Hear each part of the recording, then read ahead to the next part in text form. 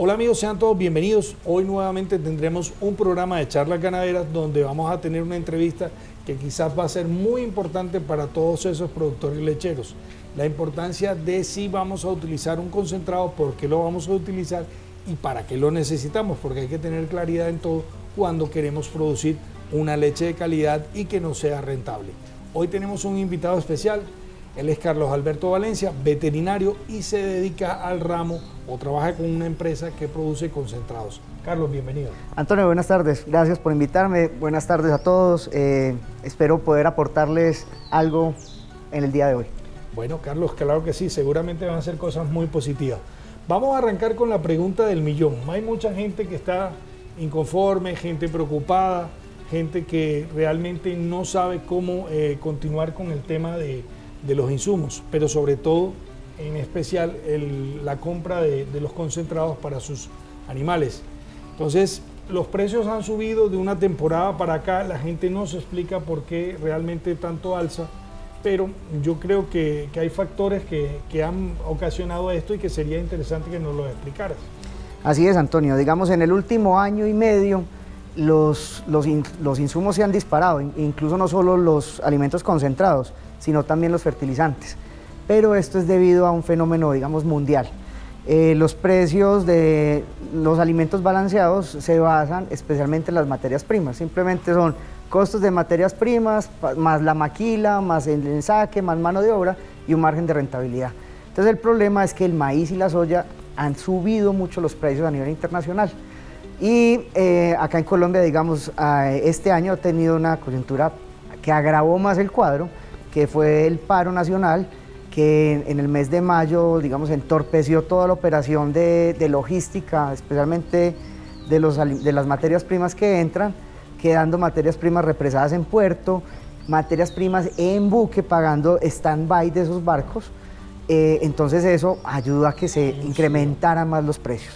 Y en este momento también los fertilizantes, no sé si te has dado cuenta, a nivel mundial hay escasez de fertilizantes plantas que están disminuyendo sus tiempos de operaciones por, restricciones en, los combustibles para operar, entonces eso va a hacer que los fertilizantes para el año entrante tengan un mayor incremento. Y lo que prevén los analistas es que también va a haber un incremento en materias primas más del que está actual debido a que se van a fertilizar con menos cantidad los cultivos y vos sabes que un cultivo es, el fruto de una fertilización, entonces al bajar fertilización productividad es más baja en los cultivos y oferta y demanda, se encarece el producto.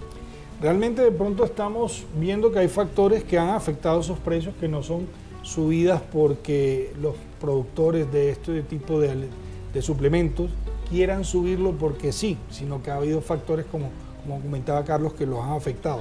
Pero es posible producir ese litro de leche utilizando ese suplemento y recibiendo una rentabilidad adecuada por esa actividad de la lechería? A ver, Antonio, todo, digamos, todo es posible, ¿cierto? Hoy uno, todo negocio busca siempre ser eficiente y tener rentabilidad. Em, ¿Qué es lo que también ha agravado, digamos, nuestra coyuntura de leche en el país? Eh, que todos los insumos subieron, pero el precio de venta del litro de leche sigue igual, o seguía igual. Eh, digamos, en el último mes, el, el, mes de septiembre, ya se han dado unos movimientos interesantes de precios, donde las leches eh, frías en productores medianos y grandes está llegando a casi que a una base de 1.500 pesos. Eso es lo que se ha estado negociando en el eje cafetero, con, con, incrementos en ciertas zonas que han llegado a 1.640, 1.650 pesos por litro, lo que ya, digamos, nivela otra vez ese, ese margen porque el problema es que las materias primas para producir la leche, el fertilizante y, los, y los balanceados subieron, pero el precio seguía estable. Al haber ese incremento, vuelven y se mejoran algo los, los, márgenes, entonces el negocio vuelve a ser atractivo. ¿Qué habíamos visto nosotros en, después del paro, especialmente en el mes de mayo, eh, junio? La gente diciendo, bueno, ¿qué hago yo? Doy menos concentrado, bajo el perfil del concentrado, ¿qué hago? Ahí es donde nosotros eh, nos toca entrar como, como asesores y asesorar y, y digamos, eh, guiar bien a la gente. Porque, ¿qué encontramos? Gente que por vender le dice, no, de un concentrado más económico, vale 6 mil, 7 mil pesos menos y listo. pero resulta que son 6 mil o 7 mil pesos menos en bulto, pero pueden ser 2 o 3 litros por vaca, y 2 o 3 litros por vaca menos son eh, 3.500, 4.000, 5.000, 6.000 pesos. O sea, que podría cubrir ese costo de Totalmente, exacto. ¿Qué nos ha pasado? Hemos visto fincas donde tienen un interesante consumo de alimento y entonces cambian un alimento por 6 o 7 mil pesos menos. Uno dice, ah, eso es mucho en un bulto de 40 kilos. Pero resulta que entonces en la factura mensual de compra de concentrado se ahorran 2 millones de pesos, pero resulta que dejan de recibir en venta de leche 8 millones de pesos. Entonces, ¿cuánto pierden al final del ejercicio? 6 millones de pesos que dejaron de recibir. Con un agravante, que si las vacas están dando menos leche, generalmente hay un, eh, empieza a haber un desgaste físico de la vaca, una pérdida de condición corporal. Y cuando una pérdida de condición corporal se da en una vaca, la reproducción se ve alterada. Entonces cada vez se va agravando el, cuadro.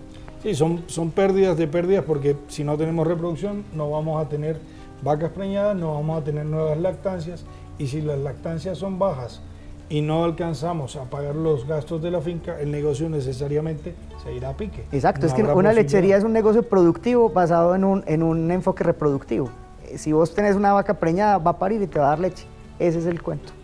Hoy por hoy que están cerrando tantas lecherías, que hay gente replanteándose la opción de cerrar, de no continuar con la lechería, ¿crees que todavía es posible que haya lecherías que funcionen bien, que puedan mantener, claro, al desaparecer algunas, otras pueden quedar con ese pedazo del pastel y pueden lograr eh, unas producciones más elevadas o un precio más elevado.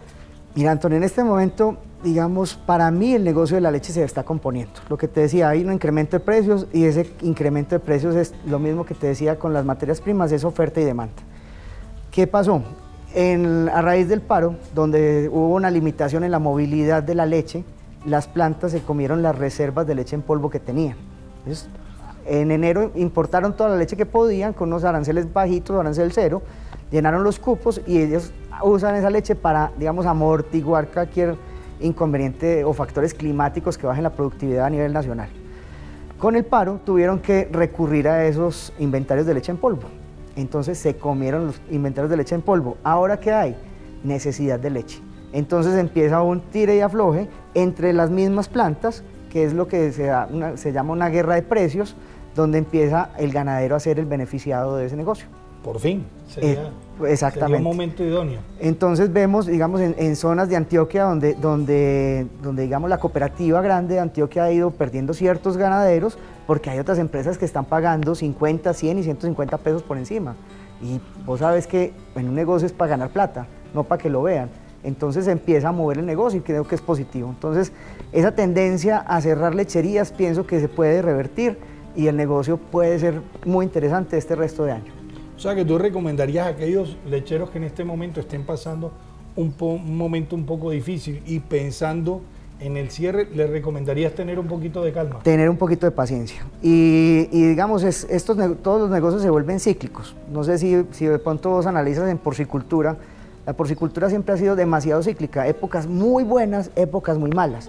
¿Quiénes son los que ganan dinero? Los que se logran sostener. Que en la época buena, en la época de vacas eh, gordas, ahorran capitalizan un poco para poder soportar la época de vacas flacas.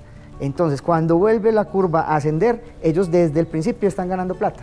Y eso es lo que nos toca en este momento, aguantarnos, ser lo más eficientemente, eficientemente posibles, pero sin arriesgar la productividad. Lo que te decía, siempre hay que hacer una relación costo-beneficio. Si yo quito esto, ¿hasta dónde puedo llegar? Si yo me ahorro 5 mil pesos en un bulto de concentrado, puedo perder medio litro pero si generalmente una baja de 5 mil pesos en un bulto de concentrado es un perfil distinto, menos energía, menos proteína, y vas a arriesgar litro y medio, cuando solo podías perder medio. Entonces vas a perder un litro y un litro a 1.500 pesos por el número de vacas que tengas en la finca, es una pérdida grande. Sí, quizás el ganadero piensa un poquito más en el desembolsar el dinero en el momento de la compra y no a largo plazo. Yo creo que uno de los de los errores más grandes de los, de los ganaderos es que no son empresarios ganaderos, no, no tienen numeritos, no hacen numeritos de lo que les cuesta producir el litro de leche, lo que pueden ganar o lo que dejan de ganar. Así es, esto siempre hay que hacerle una relación costo-beneficio. ¿Cuánto menos, cuánto meto y cuánto saco? O cuánto dejo de meter y hasta dónde puedo dejar de sacar. Y Tener en cuenta que ahora, digamos, con el alza de los fertilizantes, es el, es el elemento que no se puede aflojar. Digo, yo trabajo con casas de, de, balanceados y yo digo, es más fácil suprimir o, bajar algo en, alimento y no en fertilizante. Porque si vos sacrificas el, el, el, aporte de fertilizante en las praderas, te quedas sin pasto. Y ahí sí, el círculo vicioso se cierra y ahí sí, ahí no hay que hacer. Sí, es que generalmente pensamos en, en el problema del momento y no en el del futuro.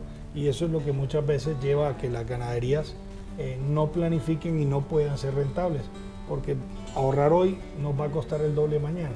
Son pequeños ahorros mal hechos. Así es. Y eh, siempre hay que tener en cuenta que la ganadería se basa en la producción de forraje. Antes de ser ganaderos hay que ser cultivadores, cultivadores de pasto, y ahí es donde está el alimento de la vaca. Una vaca lechera se come el 60 o el 70% de sus alimentos en, forraje verde. Entonces hay que manejar ese pasto, que tener, producir, producir buena cantidad y calidad. ¿Por qué te digo cantidad y calidad? Porque cantidad puedes tener. Vos puedes tener un pasto y te vas a una rotación muy larga, pero no vas a tener ninguna calidad, porque un pasto ya hecho, la proteína se, se baja, las fibras se suben y el consumo de la vaca va a ser muy poquito porque le da sensación de llenura. Entonces ahí se pierde el año. Lo que necesitamos son praderas buenas para llenar la vaca. Si vos logras llenar la vaca con un alimento bueno, de buena cantidad y buena calidad, vas a poder expresar la genética que tiene la vaca ya con un alimento concentrado. Sí, es la parte nutricional del animal, que lo que normalmente pensamos muchas veces en la finca es darle comida a la vaca, no importando qué tipo de comida, sino que la vaca se llene. Y lo que necesitamos es nutrir esa vaca para que sea productiva. Por eso en este momento hay muchos, muchas alternativas que no sé si realmente a veces funcionan tan bien como, como se piensa, como esos suplementos, por ejemplo, los hilos de, naranja, de piña, eh, bueno, todo lo que digo estos por decir algunos, pero no quiere decir que, que sean exclusivamente estos ni que tenga nada contra estos.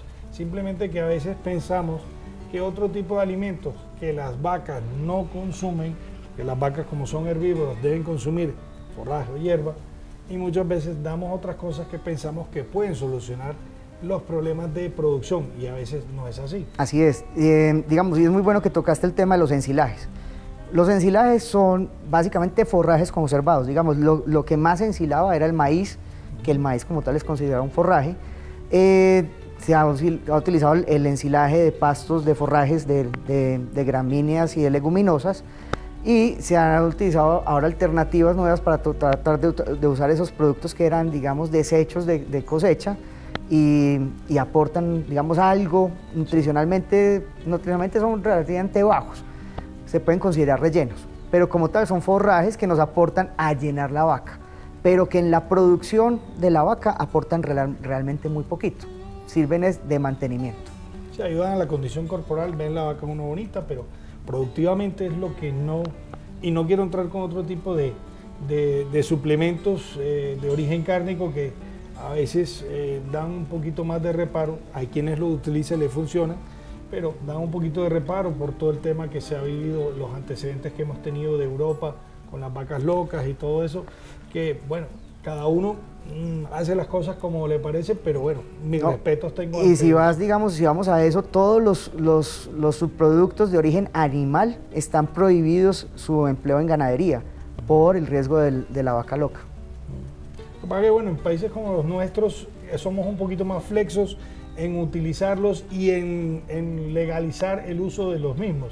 Entonces es por eso que sí se usan. O no abiertamente, mucha gente, aunque los use, no quiere contarlo, pero bueno, de que se usa, se usa. Es algo que, está ahí. Eh, la pregunta ahora interesante es, eh, ya hemos hablado de la importancia del concentrado, pero conocemos que en, nuestros países de Centro y Suramérica hay muchos ganados que se ordeñan, como, como dicen aquí de Surriago, lo explico para quienes de pronto no estén familiarizados con este tema, son ganados muy cruzados, muy corrientes, que se ordeñan con ternero y que no se suplementan. Este tipo de ganadería eh, puede sobrevivir de esta manera, de pronto produciendo poquito, pero podrá ser lo suficientemente competitivo frente a ganados suplementados. Eh, hay sistemas productivos que son rentables en ese, en ese esquema. Y va uno a ver, pero son, eh, digamos, de altos volúmenes. Entonces, donde ordeñan mucha cantidad de vacas con una baja productividad. Entonces son esquemas donde es, son esquemas de doble propósito principalmente, donde las vacas dan dos o tres litros para, para el balde, pero levantan un buen ternero.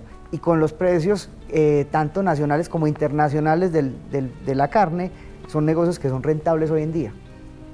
O sea, es otra manera de producir. Pero bueno, como, como estábamos hablando de, de insumos, de concentrados y de lecherías que sean grandes productoras de leche, definitivamente este, este tipo de, ganado no puede funcionar o, realmente no funcionaría adecuadamente sin el, sin el concentrado. Sí, eh, se bajaría mucho su productividad. Pero lo que sí hay que tener en cuenta es que alimentos hay muchos, o sea, no solo de, marcas, sino que dentro de cada marca de cada empresa hay muchos perfiles de alimento. Y ahí es donde yo invito a que siempre que vayan a, comenzar a suplementar o si ya lo hacen pero nunca han, recurrido a eso, recurran a los asesores técnicos de las casas de balanceados. ¿Por qué? Porque lo que eh, se busca es recomendarle el producto idóneo para su ganadería. Digamos, hay gente donde que uno llega y le pasto como lo que vemos acá, una grama, sin ningún aforo, sin ningún volumen para llenar una vaca y quieren comprar el alimento balanceado más caro que haya en el mercado. Cuando uno dice, venga, usted no necesita alimento de alta proteína, de alta energía, usted necesita un alimento alto en fibra. Y los alimentos fibrosos son los más económicos, pero nos van a compensar la falta de forraje que hay. Incluso cuando uno hace una relación de la materia seca en un alimento fibroso, es más económico que dar un ensilaje, porque es completamente materia seca, mientras que en el ensilaje estás comprando un muy alto porcentaje de agua a un costo elevado. Sí, yo creo que, realmente Mm, después de lo que nos resumes, yo creo que lo más idóneo, si tú fueras, si, fueras a mi finca y yo te dijera, necesito un concentrado, eh, lo ideal es hacer un, análisis de lo que yo tengo en mi finca, del alimento que tengo, para hacer una recomendación y seguramente la inversión que tuviera que hacer sería de pronto menor a la que de pronto estoy haciendo. Es, es correcto, digamos, lo que nosotros hacemos es hacer una visita para poder ver la, la oferta forrajera que tiene la finca, y también hacer, eh, digamos, una imagen de la genética que tienen las vacas. Porque vos podés tener una genética muy buena y muy mal pasto, o tener el caso contrario, muy buena oferta forrajera y unas vacas muy flojas. Entonces tampoco vas a necesitar el concentrado. Entonces yo te decía, existen alimentos fibrosos, que son alimentos del 25% de fibra hacia arriba, generalmente de una proteína baja y una energía baja. Son los alimentos económicos que les dicen en el mercado alimentos de combate, pero que nos van a ayudar mucho para ciertas producciones bajitas donde necesitamos llenar un poquito más la vaca, ¿cierto? O sea que no hay buena oferta forrajera. Después siguen alimentos balanceados de gama media, donde tienen las proteínas medias a altas y unas energías medias a altas. Lo mismo para unas producciones medias. Y tenemos productos ya de alto perfil, que son ya también, depende de la proteína que requieran por, por la disponibilidad de forraje, pero que sí son muy altos en energía porque encontramos que si nosotros le damos un buen pasto, en buena calidad, lo que te decía ahora, con unos niveles proteicos altos, necesitamos es hacer un buen aporte de energía en el balanceado para que la vaca pueda expresar esa genética. El mismo punto, si no tenemos un concentrado que es idóneo a la situación de cada finca, seguramente no vamos a conseguir, primero, alimentar bien a nuestros animales y segundo, podemos estar perdiendo dinero, gastando de más sin necesitar de hacerlo de esa manera. ¿Cuál consejo nos darías eh, a todo aquel que de pronto está pensando en este momento en montar un negocio ganadero, una lechería y está pensando en arrancar? ¿Cuál sería de pronto el punto clave o el, eh, punto de inicio para esa persona eh, que va a empezar un proyecto ganadero? Mira, yo lo primero es que sean cultivadores de pasto. Yo he tenido clientes desde muy pequeños hasta muy grandes pero los mejores, así, así sean pequeños, son los que tienen buena producción de forraje. Y esa producción de forraje se hace con fertilización. El, pasto por sí solo no crece y si vos lo dejas crecer solo, se te va agotando. Entonces, al, a largo plazo no hay viabilidad del negocio. Entonces, lo primero es ser cultivadores de forraje, producir pasto en buena cantidad y calidad con uso de fertilizantes químicos, orgánicos o mezclar los dos pero no se puede dejar de fertilizar. Después de eso, tener un buen recurso genético que se adapte a la zona donde estamos. Si estamos en trópico alto, pues unas vacas europeas. Si estamos en trópico medio o bajo, En trópico medio, algo de cruces, o si es trópico bajo, pues ya toca con, con cebuinos. Buscar la genética que es, porque si nos ponemos a llevar lo que no es a esa zona, vamos a tener muchos problemas a nivel eh, sanitario y, puede haber mortalidad, mortalidad de las vacas y el negocio se nos arruina. Y si tenemos un buen ah, eh, forraje, podemos pensar, para mí hay dos, dos, pilares de la ganadería, que son la carga animal y el promedio individual. Si nosotros tenemos una finca, tenemos que tratar de tener la mayor carga posible, porque no nosotros no podemos ensancharnos, corrernos para, para donde el vecino o ponerle un segundo piso a la finca, ¿cierto? Pero si tenemos buena cantidad de pasto, vamos a poder tener más vacas ahí. Al llenar esas vacas vamos a poder expresar su, genética. Entonces si le damos el alimento que es, vamos a poder tener el tope genético de esas vacas. ¿Qué, logramos con un buen volumen de vacas y un buen volumen de leche? Diluir todos los costos fijos de la finca. Y eso es rentabilidad. Es que realmente si tenemos forraje, que es lo que alimenta al animal, damos una buena cantidad, la cantidad que necesitan las vacas, la suplementación solamente se va a orientar para la parte productiva que necesitamos de esos animales. Es decir, si vamos a producir leche, buscar un concentrado para esas vacas de alta producción para que nos produzcan más leche, tengan más energía para que sean más productivas. Y si es de carne, pues exactamente lo mismo. A veces creemos que, sabemos o que conocemos realmente eh, nuestra propia realidad y yo creo que es donde, donde más fallamos. Eh, Carlos, quería darte las gracias por habernos acompañado hoy. Eh, yo creo que ha quedado muy claro que realmente la culpa no es del concentrado, sino a veces la culpa puede ser de muchos otros factores. Lógicamente, precios altos pueden afectar, pero eh, logrando un precio eh, alto o elevado por nuestro producto, podemos conseguir equilibrar las cargas. Entonces, no, darte las gracias porque creo que es fundamental eh, la explicación que nos has dado y que seguramente muchos en casa van a empezar a pensar de forma diferente luego de todo lo que nos has comentado. Finalmente, y para despedirnos, quería que le dieras un mensaje a todos los que nos están viendo y que eh, quieren eh, ser muy rentables y productivos con sus negocios ganaderos, con esas lecherías.